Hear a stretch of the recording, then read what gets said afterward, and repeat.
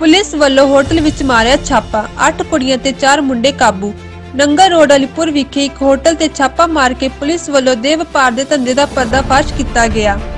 ਇਸ ਸੰਬੰਧੀ ਜਾਣਕਾਰੀ ਦਿੰਦੇ ਹੋਏ ਡੀਐਸਪੀ ਵਰਿੰਦਰਜੀਤ ਸਿੰਘ ਨੇ ਦੱਸਿਆ ਕਿ ਉਹਨਾਂ ਨੂੰ ਸੂਚਨਾ ਮਿਲੀ ਸੀ ਕਿ ਨੰਗਰ ਰੋਡ ਅਲੀਪੁਰ ਇੱਕ ਢਾਬੇ ਵਿੱਚ ਦੇ ਵਪਾਰ ਦਾ ਧੰਦਾ ਚੱਲਦਾ ਹੈ। ਇਸ ਤੇ ਕਾਰਵਾਈ ਕਰਦਿਆਂ ਉਹਨਾਂ ਵੱਲੋਂ ਐਸਐਚਓ ਥਾਣਾ ਸਦਰ ਅਤੇ ਚੌਕੀ ਇੰਚਾਰਜ ਘਨੋਲੀ ਦੀ ਪੁਲਿਸ ਪਾਰਟੀ ਵੱਲੋਂ ਹੋਟਲ ਵਿੱਚ ਰੇਡ ਕੀਤੀ, ਜਿੱਥੇ ਵੱਖ-ਵੱਖ ਕਮਰਿਆਂ ਵਿੱਚ ਮੁੰਡੇ ਕੁੜੀਆਂ ਨੂੰ ਯਾਤਰਾਯੋਗ ਹਾਲਤ ਵਿੱਚ ਕਾਬੂ ਕੀਤਾ ਗਿਆ। ਮਾਮਲੇ ਸੰਬੰਧੀ ਜਾਣਕਾਰੀ ਦਿੰਦੇ ਹੋਏ ਡੀਐਸਪੀ ਵਰਿੰਦਰ ਸਿੰਘ ਨੇ ਦੱਸਿਆ ਕਿ ਉਹਨਾਂ ਨੂੰ ਇਤਲਾਹ ਮਿਲੀ ਸੀ ਕਿ ਸੁਖਵਿੰਦਰ ਕੌਰ ਸੁਖੀ ਸਪੁੱਤਰੀ ਮੇਵਾ ਸਿੰਘ ਵਾਸੀ ਰਤਨਪੁਰਾ ਨੇ ਇੱਕ ਹੋਟਲ ਕਿਰਾਏ ਤੇ ਲੈ ਕੇ ਆਪਣੇ ਮੈਨੇਜਰ ਹਰਪਿੰਦਰ ਸਿੰਘ, ਪੁੱਤਰ ਦਰਸ਼ਨ ਸਿੰਘ ਵਾਸੀ ਅਲਪੁਰ ਦੇ ਨਾਲ ਰਲ ਕੇ ਦੇਹ ਵਪਾਰ ਦਾ ਧੰਦਾ ਕਰਦੀ ਹੈ ਤੇ ਰੋਬੋਟਿਕ ਕਮਾਈ ਕਰਦੇ ਹਨ। ਜਿਸ ਤੇ ਰੇਡ ਮਾਰ ਕੇ 8 ਕੁੜੀਆਂ ਤੇ 4 ਮੁੰਡੇ ਕਾਬੂ ਕੀਤੇ ਗਏ ਹਨ ਅਤੇ ਹੋਟਲ ਮਾਲਕ ਸੁਖਵਿੰਦਰ ਕੌਰ ਮੌਕੇ ਤੇ ਫਰਾਰ ਦੱਸੀ ਜਾ ਰਹੀ ਹੈ ਤੇ ਉਸ ਦੀ ਗੱਡੀ ਨੂੰ ਕਾਬੂ ਕੀਤਾ ਗਿਆ ਤੇ ਜਿਨ੍ਹਾਂ ਨੂੰ ਕੱਲ ਕੋਰਟ ਵਿੱਚ ਪੇਸ਼ ਕੀਤਾ ਜਾਵੇਗਾ। ਇਨਫੋਰਮੇਸ਼ਨ ਦੇ ਆਧਾਰ ਦੇ ਉੱਤੇ ਜੀਟੀ ਰੋਡ, ਅਲੀਪੁਰ ਦੇ ਨੇੜੇ ਆਰਐਸ ਢਾਬਾ ਹੈ।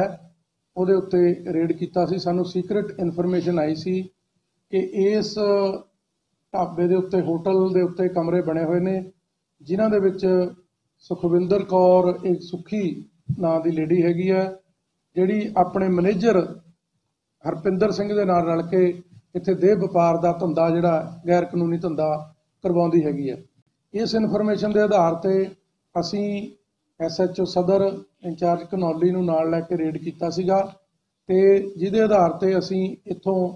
ਇਤਰਾਜ਼ਯੋਗ ਹਾਲਤ ਦੇ ਵਿੱਚ ਕਮਰਿਆਂ ਦੇ ਵਿੱਚ ਬੈਠੇ ਤਿੰਨ ਮਤਲਬ ਇਤਰਾਜ਼ਯੋਗ ਹਾਲਤ 'ਚ ਜੋੜੇ ਬੈਠੇ ਸੀ, ਉਹ ਰਿਕਵਰ ਕੀਤੇ ਨੇ ਤੇ ਇਸ ਤੋਂ ਇਲਾਵਾ ਪੰਜ ਲੇਡੀਜ਼ ਹੋਰ ਜਿਹੜੀਆਂ ਕਿ ਇਸ ਦੇ ਵਪਾਰ ਦੇ ਧੰਦੇ 'ਚ ਇਨਵੋਲਵ ਨੇ, ਉਹ ਆਪਣੇ ਗਾਹਕਾਂ ਦੀਆਂ ਇੱਥੇ ਵੇਟ ਕਰ ਰਹੀਆਂ ਸੀਗੀਆਂ, ਉਹਨਾਂ ਨੂੰ ਗ੍ਰਿਫਤਾਰ ਕੀਤਾ ਤੇ ਜਿਹੜੀ ਸੁਖਵਿੰਦਰ ਕੌਰ ਸੁੱਖੀ ਹੈ, ਉਹ ਇੱਥੇ ਮੌਕੇ ਤੋਂ ਇਸ 'ਚ ਕਾਮਯਾਬ ਹੋਈ ਹੈ, ਉਹਨੂੰ ਅਸੀਂ ਫੜਨ ਲਈ ਰੇਡ ਕਰ ਰਹੇ ਹੈਗੇ ਹਾਂ। ਜਿਹਦੇ ਆਧਾਰ ਤੇ ਅਸੀਂ ਜਿਹੜਾ ਹੈਗਾ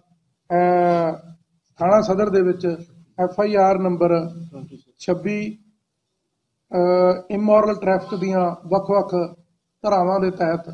ਪਰਚਾ ਦਰਜ ਕੀਤਾ ਹੈ ਤੇ ਫਰਦਰ ਤਫਤੀਸ਼ ਅਸੀਂ ਜਾਰੀ ਹੈ, ਜਿਹੜੀ ਅੱਗੇ ਕੱਲ ਇਹਨਾਂ ਨੂੰ ਮਾਨਯੋਗ ਅਦਾਲਤ ਦੇ ਵਿੱਚ ਪੇਸ਼ ਕਰਕੇ ਇਹਨਾਂ ਦਾ ਰਿਮਾਂਡ ਲਿਆ ਜਾਊਗਾ ਤੇ ਅੱਗੇ ਫਰਦਰ ਜਿਹੜੀ ਤਫਤੀਸ਼ ਹੈ ਉਹ ਜਾਰੀ